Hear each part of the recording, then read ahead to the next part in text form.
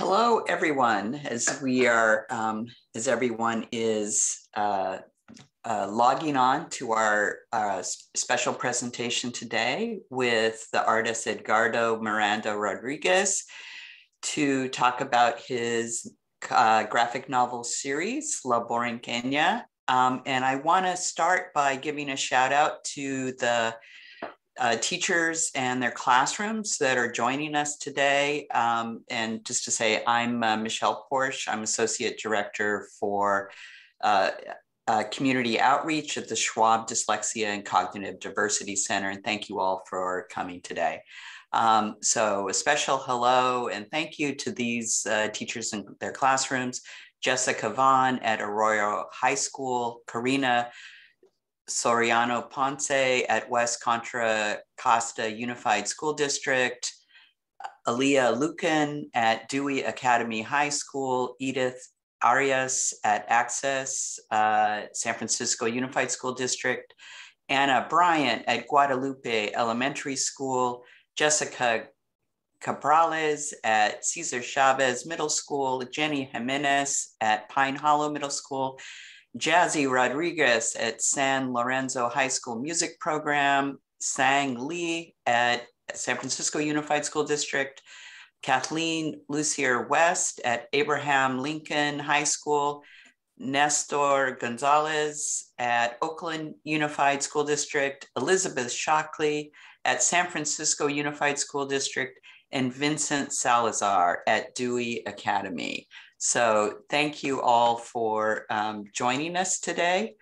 And uh, let's say, bef and before I have uh, Dr. Lisa Fortuna introduce our speaker, I'm going to ask our um, uh, IT um, assistant today to talk about how we'll answer questions and conversations. Yes, hello everyone. Uh, so uh, for this webinar, um, we have disabled chat. So if you wish to type in a question, uh, you can look at the Q&A button at the bottom of your screen to go ahead and type in questions. Also as well, if you want to ask your question audibly, um, we are going to use the raise hand feature. So go ahead and click the raise hand feature if you have a question or comment for the end. Uh, only click it once. It's going to put you in order in which you clicked it. So just click it and uh, that'll keep your space in line. And if we have time to take questions at the end that way, we'll do so. Thank you. And uh, so just to introduce Dr. Lisa Fortuna, who is professor of clinical psychiatry at our UCSF Department of Psychiatry and Behavioral Sciences, is also the chair of psychiatry at Zuckerberg San Francisco General Hospital and vice chair of psychiatry at the University of California, San Francisco. And take it away, Dr. Fortuna. All right, so um, welcome everybody. So it is my honor to um, introduce Edgardo Miranda Rodriguez, um, who's our speaker today. I'm extremely excited as a, a fellow Boricua, um, Latina um, in the community. And so let's introduce Edgardo. Um, Edgardo Miranda Rodriguez is a graphic novelist most notably recognized as the writer and creator of the critically acclaimed and best-selling superhero, superhero series, La Borinqueña, which we'll hear about today. Um, and La Borinqueña is part of the, um, also part of a collection, a permanent collection at the Smithsonian Museum. He is a featured storyteller in HBO's documentary Habla Now, the latest installment of the award-winning Habla series. In addition, he is the recipient of many awards, including the San Diego Comic Con 2019 Bob Clampett Humanitarian Award for his philanthropic efforts for um, Puerto Rico and beyond via the benefit anthology Ricanstruction, which um, reminiscing and rebuilding Puerto Rico, which features La Borinqueña teaming up with Wonder Woman, Superman, Batman, and other DC comic heroes which he self-published under his own studio, Somos Artes. Sales of Ricanstruction uh, have collected uh, close to a quarter of a million dollars and lead to the development of the of La Borinqueña Grants Program, supporting local grassroots organizations in Puerto Rico. As the creative director and owner of Somos Arte, a Brooklyn-based creative services studio, he has worked with such notable clients as Atlantic Records, Columbia University, so Sony Pictures, and Marvel. Edgardo is a curator of art exhibitions, that have already produced three original Marvel comic book art exhibitions, and his latest, La Borinqueña in San Juan, in Puerto Rico's Fundación Cortes. He's also an arts envoy for the U.S. Department of State. Follow Edgardo um, after this talk, hopefully, for more updates on his latest projects um, on social media via Twitter at Mr. Edgardo NYC and the latest news on La Borinqueña via Instagram, Facebook, and at La Borinqueña Comics. So we're um, excited to have you here today, and I, I, I hand it over to um, Edgardo. Thank you so much, Lisa. Good morning, everybody. Thank you, thank you for having me. I'm very excited to share with you all the story of La Borinqueña. Now, every superhero that we know of um, has its own origin story. Like, how did that superhero come to be? But what I want to share with you is the story of how I was inspired to create La Borinqueña and what it is that I had to learn to create this character. Now, when we think of superheroes, we know that many of them come from make believe fictional planets that have exploded some of them are from fictional African countries that are squeezed in to, between real African countries in the continent of Africa. Um, some of them come from make-believe cities. Well, La Borinqueña doesn't come from any place that's actually rooted in fantasy or from someone's imagination. She comes from a real island, an island by the name of Borinquen. Now, the original people of Puerto Rico were called the, called the Tainos. The Tainos were the indigenous, the original inhabitants of this island. And they referred to their island as Borinquen in their own language. Borinquen meant land of the noble and valiant creator. But when they meant creator, they were talking about the mother goddess, the cemí that they would actually call Atabe. Now you can see in this stone that I'm presenting to you, this thousands of years old, this is an image of a woman giving birth. And in giving birth, she's creating the entire universe. This mythology, this idea of who their goddess was, would inspire me to create what would become this origin story for La Borinqueña. But as I started learning more about Puerto Rico and Borinquen, the Tainos I learned are still around to this day. Now, although Puerto Rico was colonized by Spain, that's why the island's name was changed from Borinquen to Puerto Rico, because Puerto Rico literally translates to the words rich port, meaning that it was a, a location that was rich with resources and gold and so much more that Spain loved to take back to their country. And the Tainos were forced into slavery. And many of them, many of them died after hundreds of years of being under uh, Spanish rule and, and slavery. However, even today in Puerto Rico, there are many people that continue to celebrate, to connect, and to reestablish that heritage, that identity that makes them Taino. This is actually a photograph from Puerto Rico now of many people that are gathered to celebrate their Taino heritage, right alongside those giant stones that have the original carvings of the cemís, the goddesses and gods, including Atabex. But when you talk about Puerto Rico, you can't talk about Puerto Rico and just only address the Taino heritage and the Taino ancestry. You have to also understand that there's a very major African presence in Puerto Rico. Now, right around the time when Spain had taken over the island of Puerto Rico and enslaved many of the Tainos, well, many of the Tainos started disappearing because the population started shrinking because slavery was just so hard for them. So they brought in Africans. The Spanish brought in Africans to Puerto Rico, but not just to Puerto Rico. They brought them throughout the Caribbean and the Americas, from South America to Mexico, to North America. But when they came to Puerto Rico, they came and stayed with our heritage and stayed with their identity. Today in Puerto Rico, one of the most important parts of our folkloric heritage is dance and music called bomba, bomba y plena to be exact. Now, bomba y plena comes from West Africa, the idea of the griot. The griot was a storyteller from West Africa generations and generations of stories would pass on from one griot to another. With Bomba y Plena, history became lyrics of songs. History became movement to these dances. And that history and that heritage still lives to this day. This is a photograph from Loíza, Puerto Rico. Loíza is actually a town on the island of Puerto Rico that was founded originally by Africans who were freed from slavery. And even today, across the island of Puerto Rico and also across the United States, wherever you find Puerto Ricans, they still dance and celebrate Bomba y Plena. In fact, I was just recently in uh, the Bay Area, and I was at a cultural center called um, uh, La Perla, I believe, and there were actual Bomba classes that are still being taught in these um, cultural centers. So bomba is not just something that's a part of Puerto Rico's heritage, it's something that's celebrated and taught across the United States. Now, when I started learning all of this history about Puerto Rico, particularly about the, the racial history of our African and Taino roots, I wanted to learn more about the island's identity, the people's nationalism, their pride in being Puerto Rican, Puerto Rican. And that's when I learned about this flag. This flag was actually created by a woman by the name of Mariana Bracetti.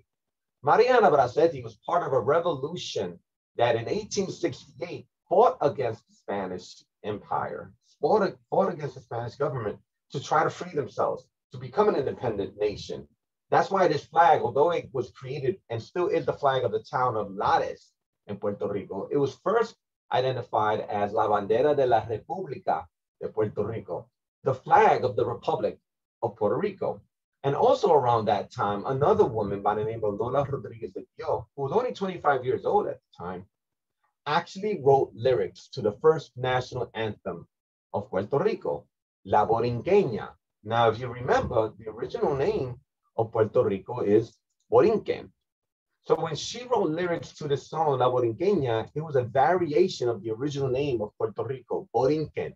La Borinqueña would be the Puerto Rican woman. And this national anthem would really celebrate this very historic moment when women and men joined forces to actually lead a revolution to, cry, to try to develop freedom and independence for themselves. That was 153 years ago. This image that I share with you right now is actually the only image that you'll actually find of Mariana Bracetti. And there she is, right on that horse with her flag, holding it, holding it high up in the sky. And alongside her are women and men holding their machetes that are ru rushing into battle. And then on the other side, you see La Borinqueña flying across the screen. And beneath her, you see another image of Mariana Bracetti with her hair pulled back in, in, braids. You also see an image of Lola Rodriguez de Tio, who wrote the original lyrics to La Borinqueña. And you see two of my mentors, women with the purple beret, Iris Morales, who was a lawyer and one of the original members of the Young Lords Party, a group of activists that had a lot of work during the civil rights era here in the United States, particularly for, for people of Latinx heritage. Marta Moreno Vega, a professor at NYU and a professor at the University of Puerto Rico, who is one of the leading voices for the African diaspora. That is, she speaks to represent and to acknowledge our African heritage. And then right there also is a very important Afro-Puerto Rican woman named Felicita Mendez, now, Felicita Mendez is incredibly important for you all to understand because Felicita Mendez came to California from Puerto Rico. And when she tried to enroll her students, her children into school, she wasn't allowed to because she was perceived as a woman of color, a Black woman. And she and her husband ended up suing the state of California because they would not allow her children to attend school alongside her cousin. Now, her cousin was also Puerto Rican, but she was a very light complexion Puerto Rican. So there was a lot of a lot of discrimination in California, and because of this case where her and her husband sued the state of California, they won. And schools were desegregated, meaning that schools were allowed to have students of all races alongside. There's a very important man by the name of Thurgood Marshall who actually took this case. And because of that, he was able to make a case across the United States so that no schools could separate students based on race. And that was all because of an Afro Puerto Rican woman named Felicita Mendez, who was at the time the mother of children in the state of California. So all of this history was so important. Now, during this historic moment of this revolution, many people ended up in prison. Many people died during the revolution. Puerto Rico was only independent for a few days. And many other Puerto Ricans ended up in New York City. They never gave up on this dream, this idea of a free Puerto Rico. So they teamed up with other Latinos who also believed and, and celebrated that same idea.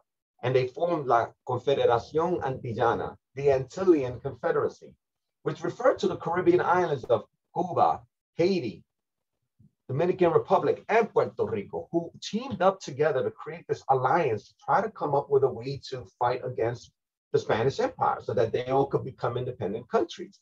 And it was around that time, about 28 years later, that the flag that many of us know as the Puerto Rican flag would be created in New York City. And that was in 1895. That means just last December, just last year, this flag celebrated its 125th anniversary. Now that flag came to Puerto Rico and was known as Puerto Rico's flag for decades. But right around that time, it was in 1898 when the United States invaded Puerto Rico, they made everyone in the island of Puerto Rico US citizens. The first elected governor of Puerto Rico did not like the idea of independence, so he created a law. The law was called La Ley de la Mordaza, the gag law. Under this law, it was illegal to own the Puerto Rican flag. It was illegal to sing the lyrics of La Borinqueña. It was illegal to gather with other people to just talk about independence. Now, what's really ironic about this is that this was mostly the opposing political party of the governor, Luis Muñoz Marin. He just didn't want people to oppose his office, oppose his political party. And many people were fined $10,000. Many people went to jail for owning a Puerto Rican flag, for talking about independence, for singing La Borinqueña. But interestingly enough, it was the United States who had to step in and tell Governor Luis Munoz Marin that what he was doing was unconstitutional. You see, Puerto Ricans were now US citizens. And as US citizens, they had the right of freedom of speech, the right to assembly, and the right to gather, the right to protest. Even though Munoz Marin disagreed with them as US citizens, they had the right to disagree with their governor. So he repealed the, the he repealed the, the law, the gag law. That means he did away with it. And he made the, la- the flag legal again. But when he reintroduces the flag, he changes it from the original light blue to navy blue. And that flag's history that started back in 1895 would be erased. So many people, when you talk to them about the Puerto Rican flag, they know that it was created in 1952. They don't know that there was 57 years prior to that that existed in the history of this flag. They don't know that there was an original song written by Lola Rodriguez de Tio, because the new version of La Borinqueña would actually give props to Christopher Columbus because he thought our beaches were so, so, so, so beautiful. That's literally how it translates from English, Spanish to English. And the Puerto Rican flag is something that many of us who are Puerto Rican, who live across the United States, wave with honor, wave with pride, wave with love. Even in protest here in the United States. This image that I'm sharing with you is actually from the cover of the New York Times 44 years ago today. Because yesterday, 44 years ago, there were a group of Puerto Rican activists that took over the Statue of Liberty to make a political statement because they wanted their heroes, their leaders to be freed and not persecuted for their political beliefs. And it would be sometime later when President Jimmy Carter would pardon these political prisoners, these activists who spoke out for Puerto Ricans' independence. So all of these stories inspired me to create Marisol Rios de la Luz, a science student, a student who loves science, technology, engineering, arts, and math, STEAM, a student who is also dealing with her own weaknesses of asthma. Many young people of color across the United States, including Puerto Rico, have to deal with health issues related to the environment. Asthma, unfortunately, is one of these health issues. But it's not something that limits her, it's not something that slows her down or holds her back. She still rides her bicycle from Brooklyn to Manhattan every day so she can take her classes at Columbia University. She does her part to reduce the size of her carbon footprint because she believes that we all have a responsibility to save our planet. We all have to be active agents for climate action because our planet is in the face of a crisis called climate change. She still celebrates her heritage by dancing and singing bomba y plena. She is a college student that cares about her heritage, that cares about her family, that cares about our planet. So everything that I shared with you, all of that history about the flag and our Taino and our African heritage is what wraps around La Borinqueña to make her into the superhero that she would become. And that mythology that was inspired by the original image of Atabex, the mother goddess of the Tainos, finds itself reinterpreted in the actual comics as an actual part of her origin story. And she connects to her African heritage because it's important to celebrate that in a character. It's important to acknowledge that as Latin people, we are incredibly diverse looking and existing people. We have African, indigenous, European, and Asian race in our in our heritage and our identity. That's why many of us look so different. Some of us look very indigenous, some of us look very African, some of us look very European, some of us have a mixture of all of that. And the character, well, it's important that she reflect that mixture as well. But oftentimes when we see Latin people, we only see one person that kind of like is supposed to represent all of us. If it's a beauty pageant, you'll see maybe uh, a very light complexion, sometimes even a blonde version of maybe someone who is from Puerto Rico. And not to say that you can't be blonde and be Puerto Rican, because you can, but you also can be a Black person and still be proud to be Puerto Rican, still be proud to be Latin. So all of this is what in, eventually ends up creating the character that is La Borinqueña. And five years ago, we introduced the idea of La Borinqueña to the world in a big way. She's on the, uh, she's all over newspapers across the United States. She's part of the Puerto Rican Day Parade, the largest celebration of Puerto Rican culture here in the United States, where hundreds of thousands of people gather. And she's dressed in this original costume that was made for her. And young people at the parade on television, over the internet, are seeing La Borinqueña for the first time. And she's on front pages of newspapers across the United States, and people are recognizing this superhero. But I didn't create this superhero because I just wanted to create another superhero, or I didn't want to just create a superhero that would represent my heritage. I wanted to create a superhero to talk about Puerto Rico in a way that had never been talked about before. You see, a lot of what I'm sharing with you around Puerto Rico and La Borinqueña isn't actually taught in Puerto Rican schools on the island. You see, Puerto Rico is a colony in the United States, so they'll learn US history. They'll learn about Susan B. Anthony, who created the American flag, but they won't learn about Mariana Bracetti, who created Puerto Rico's first flag, this flag, La Bandera de la República de Puerto Rico. They'll learn about Francis Scott Key, who wrote the lyrics of the Star Spangled Banner, but they won't learn about Lola Rodriguez de Tio, who wrote the lyrics to the original version of La Borinqueña. And they'll learn about mythologies of Rome or Greece and other countries, but they won't even learn about their own island's history. This is another version of Atabex. And in the comic books, Atabex is the mother goddess of the Taínos, but in reality, in history, she was what the Taínos really believed in. And she had two twin sons, Huracan, which is really where the word hurricane comes from. It's actually a Taino word. And her uh, her sons give her, give Marisol, give La Borinqueña these superpowers. Her other son, Yucahu, is the cemí of the mountains and the seas. And from there, she draws her super strength. And the character's strength and portrayal is so unique and different that even the Smithsonian Museum of the American Indian reached out to us because they did their first exhibition ever on Tainos. And if you remember, the Tainos were the original people of Puerto Rico, the island of Borinquen. And in this exhibition, we see that comic book page on display.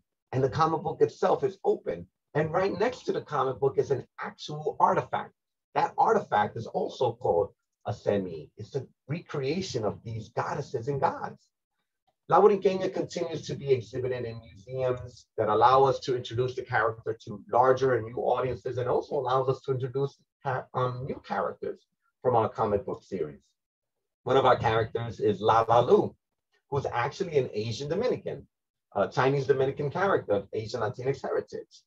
Our comic book is also celebrated by the Smithsonian Museum because it's been added to the permanent collection. And if you look closely at this exhibition, you'll see Batman, you'll see Superman comic books, and if you look even closer, you'll see La Borinqueña right there next to the Avengers.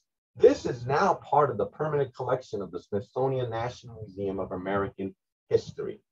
And we created these comics because we wanted to show the world what it was to be Latin, what it was to be Puerto Rican. And we wanted to do it through comics. And that's why when a real, real hurricane came to Puerto Rico, and this is actually a scene from the comic book, we decided it was time to do something more than just tell this story. Now, scientists for some time have been saying that Puerto Rico was long overdue for a natural disaster, either earthquakes or hurricanes. And understanding that, we knew that our stories needed to reflect that. That's why that story of La Borinqueña, instead of her finding a supervillain, she actually has to deal with a natural disaster, a hurricane, a real hurricane. But when you write comic books, you can exaggerate, hyperbole. It's great to make the story bigger than reality. I didn't think that reality would actually catch up to the real story. Here's a photo of Puerto Rico at night from a satellite. And here's a photo of Puerto Rico after Hurricane Maria. Hurricane Maria hit Puerto Rico in the year 2017, just four years ago left 4,645 lives gone, destroyed 150,000 families who are now having to move to the United States. 800,000 homes were destroyed. Do you know that most of the island of Puerto Rico went without electricity for 11 months? That's why we decided to do something bigger than just tell a story we created our project Ricanstruction. This comic book would team up La Borinqueña with comic book heroes that all of us grew up with. I grew up with, my mother grew up with, my grandparents grew up with. Superheroes known the world over. Superheroes like Batman, who usually fights supervillains, but in these stories teams up with La Borinqueña to learn about the island and by learning about Puerto Rico, that story teaches others about Puerto Rico. She teams up with Wonder Woman. She teams up with Superman. These teams up, these stories introduce people to Puerto Rico in a way that has never been done before. This is actually an Amazon meeting another Amazon. You see those green parrots on the screen? Those are the Iguacas of Puerto Rico, or as we know them, the Amazons. And Wonder Woman is an Amazon who's finally meeting Puerto Rico's Amazons. The book became such a success for us, and we never expected it to be. It was number one on Amazon.com for four months straight. It helped us raise close to a quarter of a million dollars. And with the success of that, we decided to create the La Borinqueña Grants Program, a program that was created to give money back to organizations in Puerto Rico that are real heroes, organizations that reflect what La Borinqueña does, organizations that work for environmental justice, sustainable farming, women's health and reproductive rights, programs for children in the areas of art and education, and organizations that preserve and celebrate Afro-Puerto Rican heritage the work is something that we're so inspired by that every year we return to Puerto Rico and we give grants to these organizations. We give them the money to continue to do the work every day that really inspires us to write these stories. And it's magical to see the inspiration that our character has made on so many. This is a photograph of a young woman dressed as La Borinqueña who was marching down the streets of San Juan in the year 2019 for social justice. Because many people in Puerto Rico, even now, even right now in Puerto Rico, are marching through the streets because they want a better Puerto Rico for themselves. Now, even though they're US citizens, they're really treated like second class citizens. And they're constantly having to fight and make a statement for justice. And that's what our comic book tries to do. It tries to remind people that this is not a make believe character. She's just a reflection of a real group of people that are important and that we have to acknowledge. And are part of our country and our, and our identity. And this young woman who dressed up as La Borinqueña, she also participated in our award ceremony when we came back to Puerto Rico to make these awards. And that costume that was worn originally by um, a young woman who dressed as La Borinqueña for the Puerto Rican Day Parade when we first debuted La Borinqueña, that was actually a part of another exhibition at the Smithsonian National Museum of American History. It was an exhibition that recreated the Ricanstruction cover. That cover with Wonder Woman and La Borinqueña would be recreated in a real life art exhibition at this museum so that tens of thousands of people, when they came to that museum, they saw Wonder Woman and they also saw La Borinqueña and they learned about Puerto Rico through this character. Now, after Hurricane Maria, we've we continue to dedicate ourselves to social justice to help. That's why we started Masks for America. During the pandemic, we raised close to $6 million and distributed masks across the United States, particularly in communities of color, tribal nations, and also in Puerto Rico. We were also involved in the last general election. The last general election for president saw the largest turnout of Latinx voters ever in the history of the United States. And maybe we were just like one little grain of sand, one little like effort to help in that. And we produced these commercials to get people to vote. And I'm going to share with you one of these commercials right now. And this is La Borinqueña telling you to vote. Georgia's runoff election is today. It's January 5th, 2021. I'm La Borinqueña, and I've teamed up with Voto Latino to ensure that Latinx Georgians line up to vote in this runoff election. Today, our vote in Georgia is how we use our power. We will not waste one vote. We are making a difference in this runoff election. We are Latinx. We are American. Our vote today is for racial equity, healthcare, and for climate justice. We stand here today alongside the African American community and will do so after this election. Porque las vidas negras importan. We know that there is power in the Senate, and we know how our government works now together, unidos, we march to the polls in this runoff election. Our vote will make an impact in Georgia and our country. Vote today, Georgia. Our vote is our power, and we will use it in this runoff election. Georgia con ganas.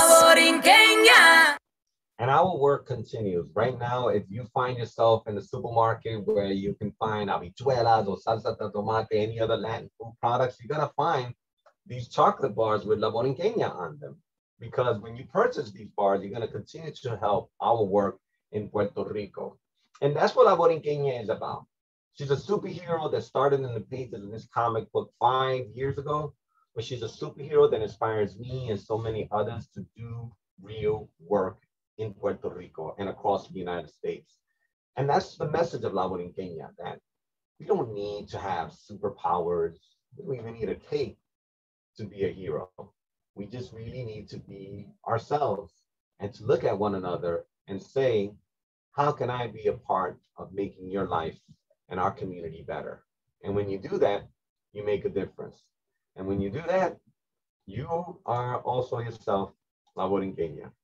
Thank you so much for your time this morning and letting me share my story of La Borinqueña. And uh, I hope you guys may have any questions about La Borinqueña or any of the information that I shared with you during my presentation.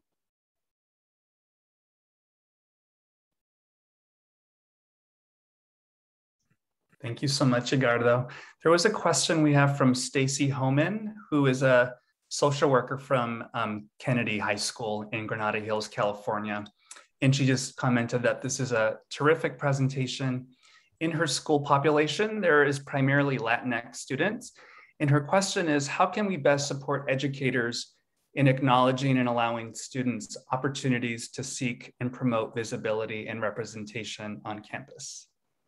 By introducing literature, by inviting speakers that reflect their identity and their heritage. Oftentimes, um, it isn't just the responsibility of university to have faculty that reflects the diversity of the campus, which is also something that the university institution should always be committed to.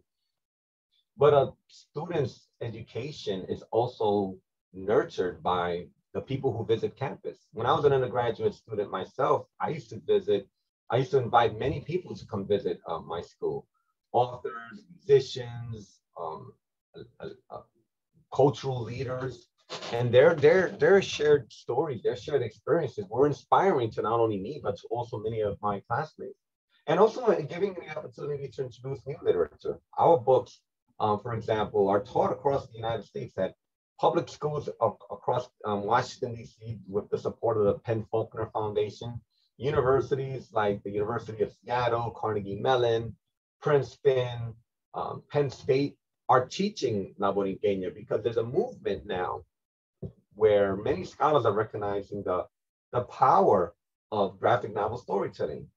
You see, when you read a graphic novel, you're actually using both sides of your brain.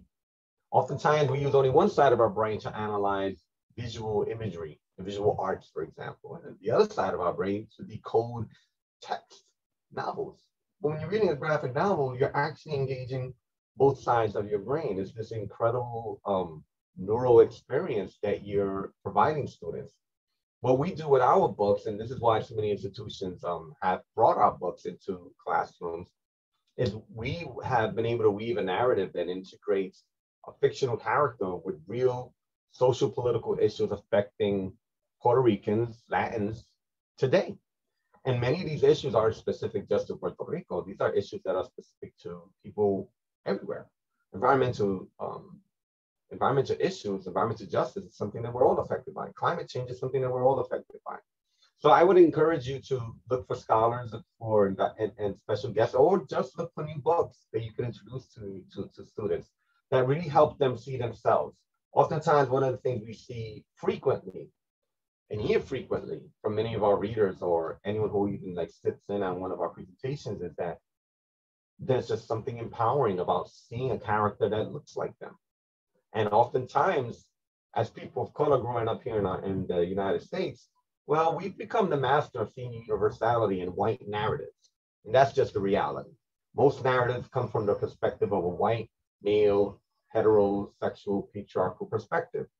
And we are taught to see the universality in all these characters. But the reality is, we should see the universality in characters that also look like us. And, well, white people should see the universality in characters that don't look like them it should be a give and take. It should be a, mutual exchange of, of storytelling and, and sharing of ideas, sharing of literature. I hope that helps answer your question.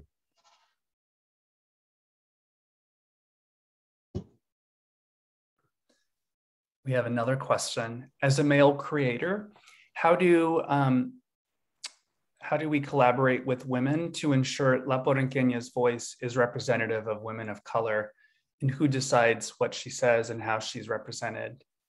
Very good question. Um, I'm a man who was raised by a single mother. All of my mentors are women. And my ed- editor on the book is actually also a woman, a non binary, I should be very specific.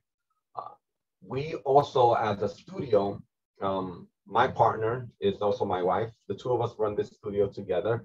We are committed to bringing as many women into this industry as possible. Overwhelmingly, the comic book industry is dominated by white men and men in general. There aren't that many women who actually have um, many opportunities. One of the artists that we've been mentoring and having worked with our studio, Sabrina Cintron, has been a part of La Borinqueña and, and our studio since 2016. So we're very committed to working with women. We're very committed to in, ensuring that the narrative and the voice is, is authentic. I oftentimes do a lot of research, a lot of interviews.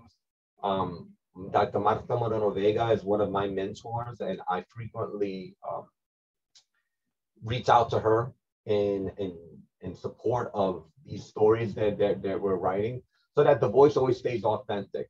And I'm very clear that as a man, I have male privilege. I'm also very clear that as a, as a light skinned uh, Puerto Rican, I have light skin privilege. And I use these privileges to navigate into these spaces that wouldn't always be available for other people of color, for, for women in general. And I do this by forcing the door open to let as many of our people in to have these opportunities. And that's what we're committed to. And it especially is reflected in our philanthropic work because most of the organizations that we support are run by women and are inspiring us to not only continue to support them, but to also carry that inspiration into the pages of La Borinqueña as well.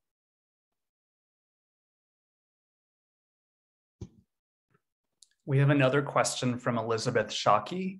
what age group is this series recommended for? That's a very good question. When I started writing and producing these books five years ago, I did so with the intention that I wanted to create something that I couldn't, I wouldn't have to hide from my sons. I have two sons. I have a six year old now and a 17 year old. And I never wanted to work on something that I would have to kind of hide. Oh, don't come into the office. Dada is working on this. You can't look at this stuff. It's for grown-ups. Nor that I want to do something that was too infantilized, too juvenile. So I created a comic book based on a comic book that I grew up reading. When I grew up reading comic books as a child, none of the stories were pandering or condescending. Um, if anything, I felt validated as a, as a young reader. So that's why La Borinqueña is actually read by elementary school students to doctoral students. There's something for everyone in, in these narratives. There, the level of storytelling is not um, elaborate enough that it would turn away a third or fifth grader, but it's also not too juvenile that it would dissuade a doctoral student from writing a, a thesis and many have, and many are writing um, doctoral works inspired and using and referencing La Borinqueña. So I would say it's it's an it starts at elementary through um, well beyond from eight to eighty. I like to I like to say. I've even done presentations um, for my sons um, when he was in um, when he was in kindergarten um, as a read along because the first few pages are just uh, rich with imagery uh, around the environment, particularly around um, the wildlife of Puerto Rico with the, the leatherback sea turtles. And it's so engaging that we made it into a talk for, for children. But it's an all, it's definitely an all audiences um, book. We have another question from Sarah Velez. Thank you, Sarah, for being here. Can you share how you feel about Latinx adolescent health and how La Borinqueña's story can be a practical um, way to support this. And do you feel like there's a, a next passion project or a story for La, for um, La to tackle and tell? I think it's important to address uh, Latinx health. That is one of the reasons why uh, the character herself is written as having uh, asthma. Um, this is not something that it escapes me that many young people, particularly Latin, particularly of color, living across the United States in, in large concentrated communities of working or poor, working class or poor families, tend to be the ones the most afflicted by um, health issues related to, to our environment.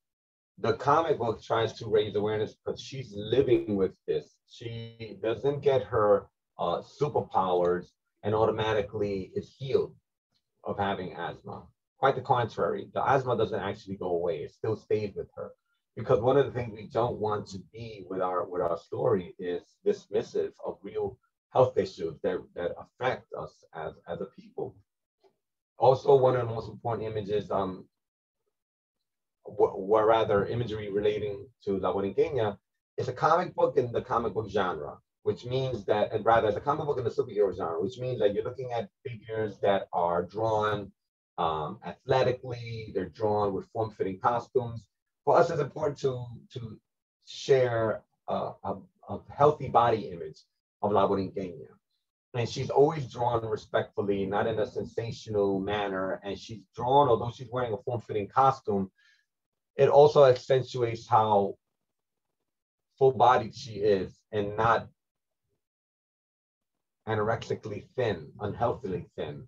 We want to kind of like share this kind of this idea that you can be a strong woman, you can have a strong body and not have to feel that you are forcing yourself to lose weight or forcing yourself to um, live up to an unhealthy body standard.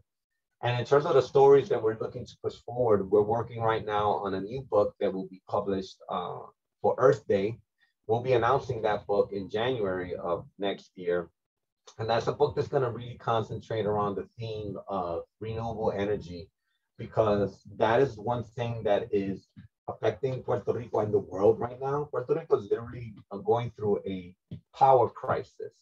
Uh, there's a new power company that took over the electrical companies on the island of Puerto Rico since May. And since May, which is just five months ago, Puerto Ricans have had to have their electric bill increased five times. The average Puerto Rican home is paying about $500 a month for their electrical bill. And the average Puerto Rican home earns about $20,000 a year. So we're creating a project that's really going to address the need for renewable energy, the need for solar energy, and the, the need to pull away from these archaic fossil fuel formats of using energy, particularly when they're consistently failing. And our hope is that this book not only raises awareness, but also raises money so that we can continue to provide um, services and resources through our La Borinqueña Grants Program. Um, and that's that's really the, the, the, the, next project that we're working on is, is a story, story around environmental justice and um, renewable energy. We have another question from Maria Elena Romero. And um, she had asked um, a question kind of related to what we talked about a little bit before. So as we move towards teaching ethnic studies, um, K through 12 in the San Francisco Unified School District, what age group do you think your work speaks most directly? And then the follow-up question is, do you know of any similar types of work that can speak to younger students? Um, I'm not too familiar with uh, many works that speak to younger students. I am well aware that many mainstream publishers like Simon & Schuster have developed young uh, adult imprints. There's actually a, a, a, brand new movement of graphic novels that are created just for um, ages 7 to 12. That's a whole demographic that's literally been, been created. La Borinqueña is, is, is a book that specifically uh, an all audiences book. I didn't want to create the book that would be to a 7 to 12 or a 13 to 18. I wanted it to be a very universal book. And, and that's why many like public schools in the Washington, D.C. district area, um, with the support of the PEN/Faulkner Foundation, are teaching Borinqueña, and they're being taught in elementary schools. And then various universities are also teaching um, our books.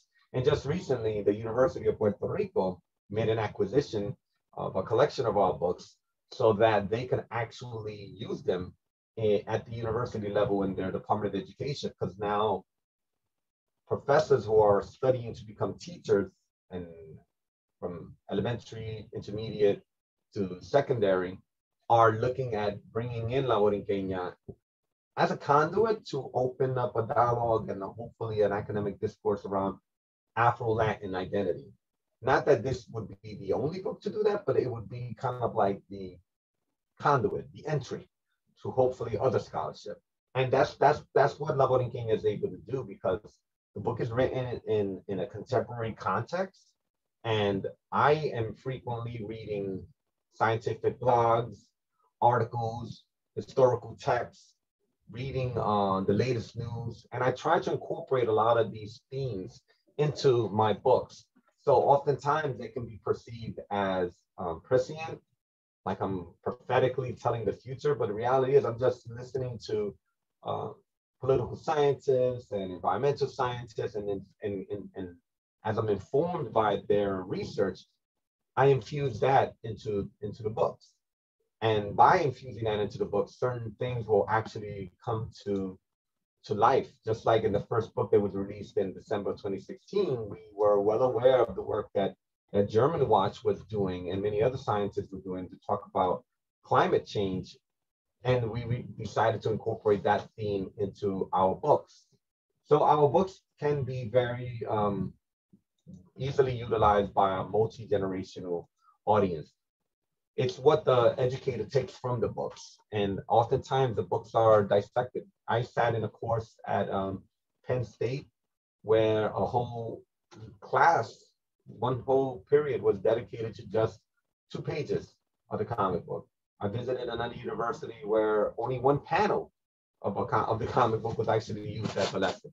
So there's a little bit of everything that can be pulled. So it could be read, read cover to cover in class, or it can actually be dissected and supplemented with additional articles that give the work some context. And that is what a lot of educators are doing. They'll take a few panels or a few pages from the com comic books and supplement it with some contemporary articles to give the book some context for, for the students that are reading and studying it.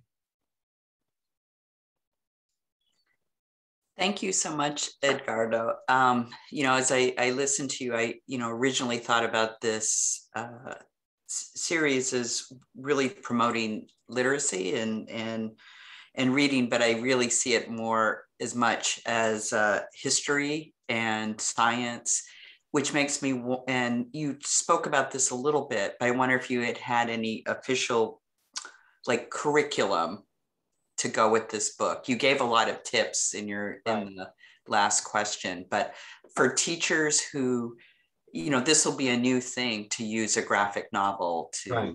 in their class. I've never written the curriculum, and all the references that I um, ref that I drew from in my prior um, response is actually inspired by educators that I've met over the last five years. In fact, one educator at my 16 year old school, who was actually the parent teaching parent teacher coordinator for our, our son's school, uh, just finished her uh, her uh, her master's in education, and she prepared a whole curriculum around La Borinqueña. And she shared this. We're just getting a tour of, of the school, just like any other parent. And you know, she was very low key, telling me and and and and Kyung, I know who you are, and I did a whole thesis on your uh, on your book. And I was like, oh, so does that mean I get a seat for my son in the school? but a lot of a lot of teachers are doing it, and it just um, you know, I think it's more viable and more um, impactful when an educator can literally go through the book themselves and try to feel out where they may want to draw reference and what they may want to um, expand upon in the, in the classroom setting. And, and you'll find uh, when you do enough research um, on La and literally putting my name and the title of the book, there are many academic articles that have already been written. Um, one as recent as uh, past summer by the Latin American uh, Review, uh, a 20 page article, and half of the article is dedicated to how La Borinqueña addresses um, climate issues.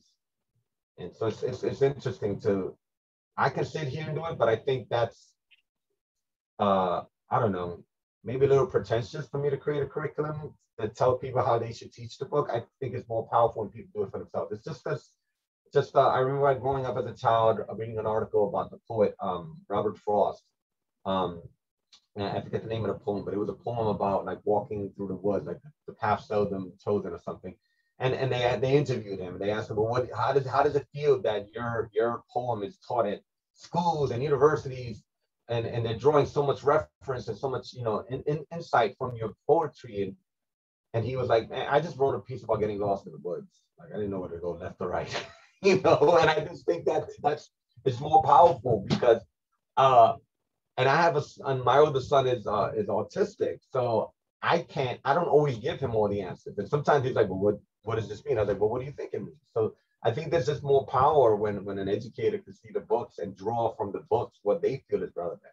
Because if I did create a curriculum, it may only speak to one specific um, audience or one specific approach, and it would turn off others from possibly seeing what they could draw from it. You know, I, I did a talk one time at my alma mater, and the audience was filled with a few hundred undergraduate students and there were four different courses, four different courses that made up the audience of that room. Four different courses that were studying La Borinqueña that very same semester. A course on women's studies, a course on LGBTQ studies, a course on graphic novel production, and a course on Puerto Rican um, history. Four different courses. And they all were studying the exact same books. And, and that blew me away.